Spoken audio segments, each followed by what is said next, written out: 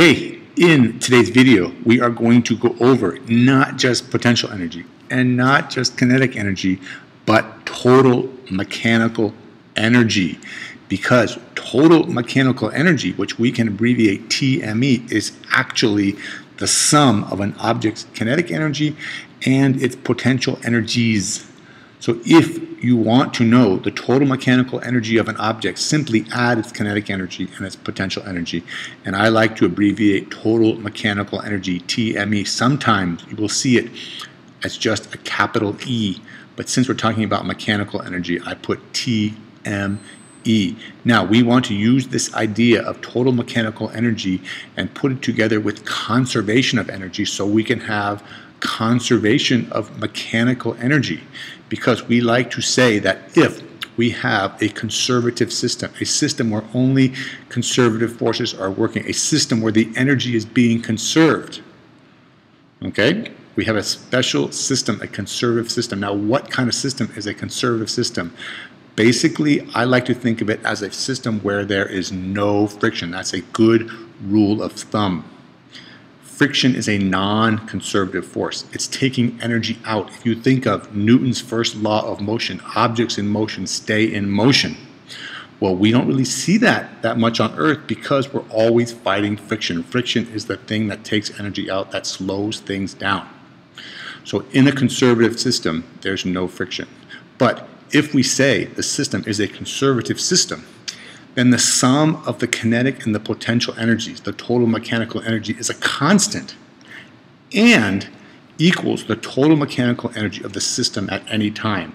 So then we can say that the initial energy equals the final energy, conservation of energy.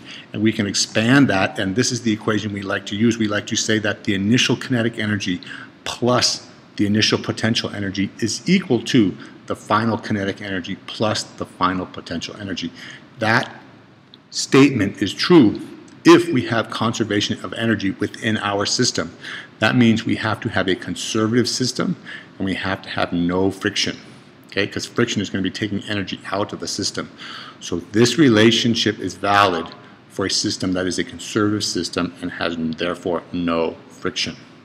Okay, now let's go on and show you an example how we use this idea of conservation of mechanical energy. We have two objects, object 1 and object 2. They're both standing still, they both have a mass of 10 kilograms, and they're both 5 meters off the ground. Okay, and we are going to say that we have a conservative system. What does that mean? There is no friction. No friction because we're going to allow this object to fall down towards the surface. No air resistance. We're going to allow this object to slide down this inclined plane and we're going to say there's no friction between the object and the plane. All right, now let's remind ourselves our equation for potential energy and our equation for kinetic energy, and we want to keep those two things in mind. Okay, now we want to, for this problem, determine the initial kinetic energy, the initial potential energy, and then after both of these things fall down or slide down, we want to find the kinetic energy, final, and the potential energy, final, and we want to see how we're going to solve those or answer those four questions and see if we can use conservation of energy to do that. Okay? Now, first of all, both objects are not moving. Okay? Both objects are not moving. That means that their velocity is zero. Kinetic energy is 1 half mv squared. Well, if v is zero, then it should be pretty straightforward that the kinetic energy of both of those objects is zero. Okay? So we write down kinetic energy zero joules. Now, they do have some height above the surface. And we can use this equation, mgh, mg delta h, or mgy as I have it written down here. m is the mass, 10, g, I'm going to round 10 from 9.81 to make the numbers nice and round, a little more simple for this example, to 10, and it's 5 meters off the ground. They're both 5 meters off the ground. So each object, 10, 10, and 5, each object, which is 5 meters off the ground, has an initial potential energy of 500 joules. Okay, I just want to point out that these objects are standing still, no velocity, but they do have some height, and therefore they do have no velocity, so therefore no kinetic energy, but they do have some height, and therefore they have some potential energy. Okay, so now I think we're going to let each object fall, and as they fall, they're going to pick up velocity, increase their velocity, and they're going to fall towards the Earth's surface. Object 1 falls straight down, no air resistance, and you can see I've stopped it just before it hits the Earth's surface. And therefore, this one is going to slide right down and accelerate, no friction, and you can see I've stopped it just before it hits the Earth's surface. Now we want to see what are the initial, excuse me, the final kinetic and potential energies of each of these objects. So let's start off with maybe the easier one, I think. That's the potential energy, the final potential energy. Well, each object now has no height above this surface. So if they have no height, then they have no potential energy wow, look, they have no potential energy. Originally, they had 500 joules of potential energy in their initial position. But now they have no potential energy. Well, where did all that 500 joules of potential energy go? Hmm, I wonder. Let's see, we had zero kinetic energy because we had no velocity. But as they fall down, their velocity increases and they gain velocity. And all of their potential energy because we have conservation of energy, has to be converted into kinetic energy. Okay?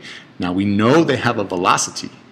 We don't actually know what the velocity is. And sometimes students will say to me, I can't figure out the kinetic energy because I don't know the velocity.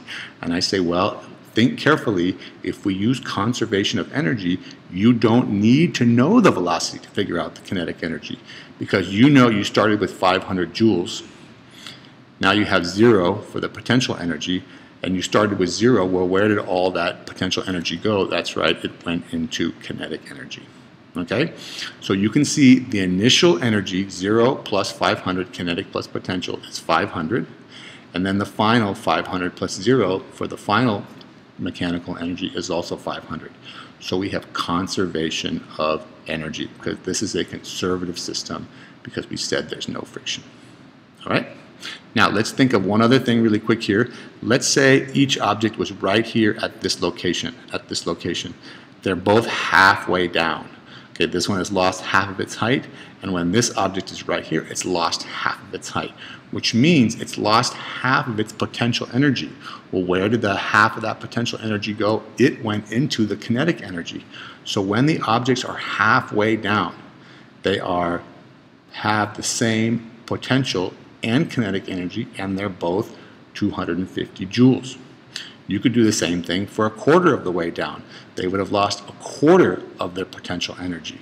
So then the rest of that energy, the 125 joules, would be kinetic energy. At any point along the path, if we have a conservative system, the kinetic energy plus the potential energy has to equal 500 joules because that's what it was at the initial location. Okay, so that's it.